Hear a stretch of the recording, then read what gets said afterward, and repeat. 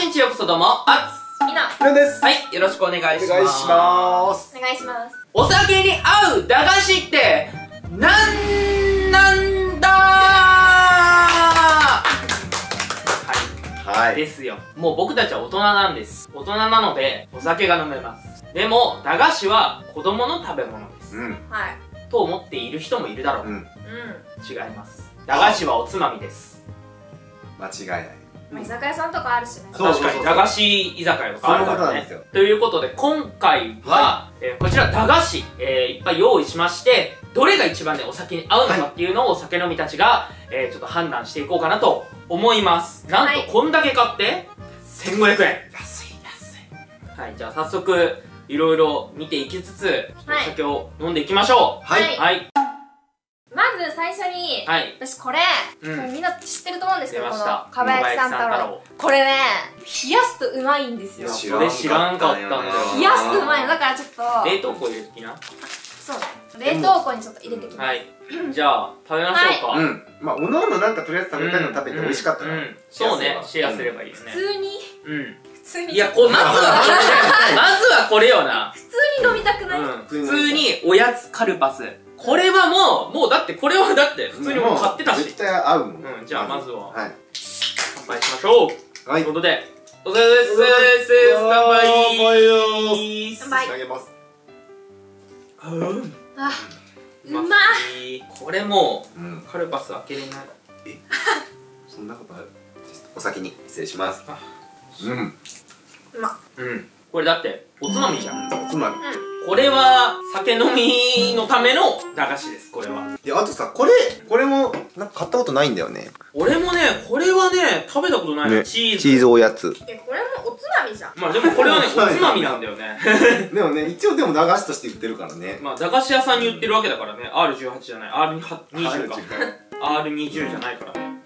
あチータラみたいな感じ？いチやなチータラだよこれ。いやこれなのチータラやん。うますぎる。これもうま。死ぬほど合うわ。さあどうしますか？ね。うちのねお父さんがこれめっちゃ好きなの。あーめっちゃうまいよね。これはだってもうおつまみじゃん。あとこれじゃね？よっちゃんイカよっちゃんイカは絶対に。こんなんさよっちゃんイカじゃあいただこうかしら。いただきます。なんかさよっちゃんイカってさイカのやつとさなんかあのすり身みたいなさやつあるよね。これね。えこれさ違くない？だってほらこれなんかね俺思ってるえでも僕よく食べてたの違う違う違う違う違う。ほら見て。う白いやつ。あこれがイカほでんまや。あこれが本当だ。ほんまやほんまや。あ2種類あるん2種類やあるんだって。ほんまや。なんかね色がね違うやつがあるんでわかるかな？なんかちょっと白いやつ。カメラでわかんねえかもこれ。あとあ。もち太郎。なんかあれが欲しかった。は箸的な。箸。えー、駄菓いいか。子いいか。いただきます。これはそうよ合う。これはそうよ。いやでも今んとこチーズおやつがちょっとね 圧倒的に自分の中で。それはねもう普通あの駄菓子じゃないんだってでも駄菓子屋さん言ってるよ。でも言うて。9月広島だって。えー、そうなんや。えそうなの？広島県呉市。イエーイ。ビッグカツでーす。何マウンビッグカツマウントです。はいちなみにベビースターは三重県で。おい。茨城探せ茨城。茨城探 おやつ乾杯待って待って待って。え？これさうまい棒。うん。製造者が茨城県です。おおおお八百あの八百金は東京ですけど。じゃあダメです。いいじゃん。土地がないから茨城に出しただけだ。か え？らいやベビースターはだって三重県三重県だからさ。えあ待ってえ？これ玉ねぎさん太郎製造。うん。茨城県です。え？ありがとうございます。えじゃあキャベツさん太郎の？えもしかことはしてマジ？茨城です。わーやばい茨城普強っ。通にすごくない？うちらなんか駄菓子めっちゃ作っとるやん、確かに。確かに。俺ら作りすぎちゃう？やばいな。駄菓子めっちゃ作るじゃん、えー、みんな数出してほしいな。本当だよ。ビールめっちゃ合うな。じゃあちょっと桜大根あ出た。といきます。食べたことない。俺あんま食べたことないかも。本当？こんなんだってただのさ漬物やん。漬物漬物。いきます。こんなん桜大根なんてさ。うまい。だってさもうさあのさ爪楊枝刺した瞬間から美味しいもん、確かに。うん、爪楊枝刺した音が美味しい。あうまい。これマジで。これマジで優勝あるぞ。びっくりした。うますぎて。結構味濃かった。何これ？濃いんだ 優勝じゃん。マジである。優勝じゃん。ここんなんさ子供何の楽しみに食べるの？こ れえでもなんか多分クラスに一人めっちゃ桜大根好きな子いるイメージある。えーいなかったわ。なかった？あれはなんかすもものやつ。あーなんかある。あれあれ苦手なんだよね。俺もあれ苦手。私も嫌い。この話終わり。生産性ゼロ。終わったわ。なんもなかったわうん。これ一個で永遠に飲める。すげえ。子供これ食うか？そう食わないよね。あの子供のさ舌でこれ食ったらさうわー！ってなるよね。おでじゃあ冷えてる、うん。冷えてるか？とりあえず好きな好きなやつ。わさび。あ冷えてる。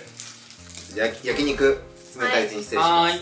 ますうんうんうんうんうんうんうんえわかる？えわかる？いただきます。んえ？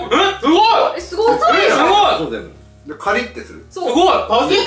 あいやこのあれだファーストインプレッションがもううん。違うから、うん。これすごいわ。そう。えそれがどこが違う？すごいの。うん。うん。なんかさえすげえ。グニにグニーってなってあそうそうそうそうそうがそう。パリッパリってなるんだもんすげえ。冷やすと一通りまあでも合うやつは食ったわ。ペペロンチーノは。これ俺も食べたことない。これは聞いてほしいよ。これ青春だったんだよこれ。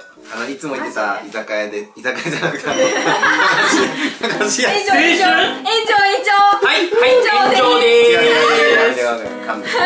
す青春かっこ居酒屋やばすぎだあのこのねペペロンチーノとこのカステラがうん。あのめちゃくちゃ合うんですよ。へー。で毎回これでセットで110円ぐらいなのかな、安だからこれ毎回やってたんで作りますね。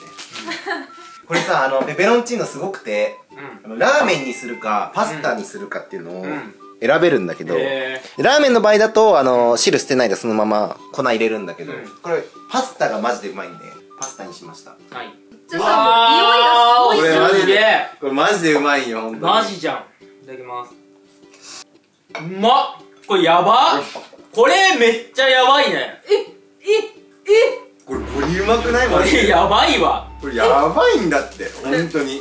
ニンニク一色なんかなって思ったらバジル？あそうね。そうそうバジル入ってる、うん。バジルがすっすごい。ごい。香りやばいマジで。びっくりした。うん。これこの後に食べるカステラがマジでうまいの本当にでわかる。でもこのしょっぱいところに甘いそうそうそうのがいそうそうわかる。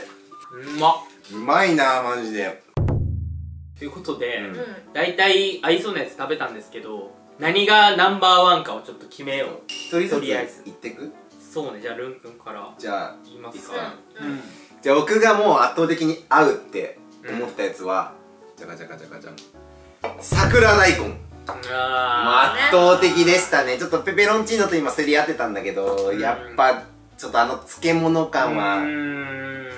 圧倒的でした。じゃあみのり。ん私ははい。初めて食べたっていうこともありうん。ペペロンチーノ。いやわかる。わかる。わかるんだよ。そうなのよ。そうなの衝撃だった。だって唯一多分この中でニンニクも使ってるっていう。そう。天酒飲みが大好きな。そうなんですよ。ね味が濃い。さああつちゃんはうやーめっちゃ迷うんだけど俺はねーうーん桜大根。うわあ桜大根かな。な。いやペペロンチーノも迷ったの。やっぱその二択よ最後な食った時に。ー私も二択。でもうん用意する時間と手間をうん。天秤にかけてうんうんうんうん桜大根。あとね。桜大根は結構お酢も強いからうん。ちびちび食える。ちびちびいける。これは美味しくってグッていっちゃう。ちゃうね。食べちゃう。そうそこのやっぱおつまみ感。が良かったな。そうだうん。だいぶ酔ってからだねこっちは。そうね。酔ってもバーって出してもうチビチビチビチビチビチビチビチビちびちびそうもう1個だけでも十分満足できるっていうのでいいなって思いました、はい。はい。そうだね。ということで本日は大人の駄菓子コーナーということで、うん。いろんなやつを食べて、えーおつまみにしてみるコーナーでございました。はい。はい。はい、でも皆さんもぜひ参考にしていただいてなんかお酒飲むときにね、あのー駄菓子と一緒に飲むっていうのもねすごくいいと思います、たまにはね。あの駄菓子のいいところはねカロリーは低い。そうだね。そう全体的にカロリー低いんでね、うん。い結構いいと思います。はい、本当にそう。はい、なんかあれらしい駄菓子ってあのカロリーも低いしあの栄養価がめっちゃないらしい。なんもないらしくて低いらしいか無なんらだ。そう。低いってことはあの何エネルギーにならないからカロリーがあったところであんま太らないらしい。あ栄養価が高ければた高くてカロリー高いと太りやすいんだけど、うん。なくてカロリー低かったらもう全然、おー。そうだね。何のあれもない。体にとって何のあれもないみたいな、うん無みたいならしいんで、無だ。はい。ゼロです。ぜひ皆さんもちょっと駄菓子食べてください。というはいことで本日の動画でございました。皆さんご視聴ありがとうございました。ありがとうございましありがとうございました。バイバイ。たバイバイ